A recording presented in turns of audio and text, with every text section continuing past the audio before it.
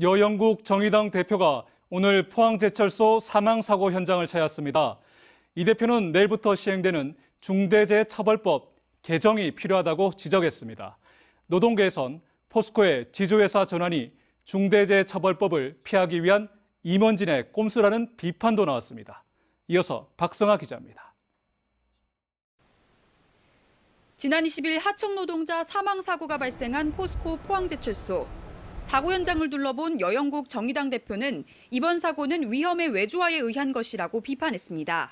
원청과 하청의 수직적인 구조 속에서 하청 노동자가 위험에 내몰렸다는 겁니다. A 구역에서 작업을 하기로 되어 있었는데 에, 사망자 사망 사고 발생한 곳은 B 구역이었다. 전혀 몰랐다. 이런 거였습니다. 이것은 원청 하청 구조가 아니었다면은 발생할 수 없는 안전 대책이 유명무실하다는 비판도 잇따랐습니다.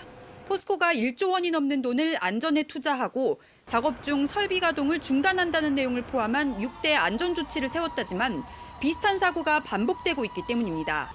실제로 지난해부터 포항제철소에서 발생한 산재 사망 사고 3건 모두 기계를 멈추지 않고 작업을 하다 발생했습니다. 모든 장비들은 세우고 시동 끄고 문 잠그고 다 한 다음에 작업을 시, 시행하는 게 포스코의 원리 원칙이거든요. 포스코가 말했던 게 전혀 지켜지지 않은 것 같습니다. 금속노조가 집계한 포스코에서 일하다 숨진 노동자는 최근 4년 동안 24명.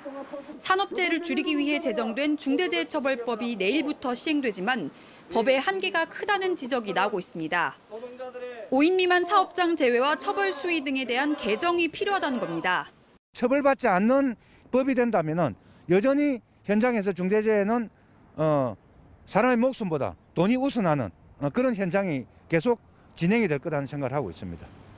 오는 28일 임시주총을 앞두고 있는 포스코의 지주회사 전환 역시 중대재해처벌법을 피하기 위한 임원진의 꼼수라는 비판도 제기됐습니다. 지주회사를 만들어서 어, 실제 책임을 다 피하는 방법들을 찾고 있고요.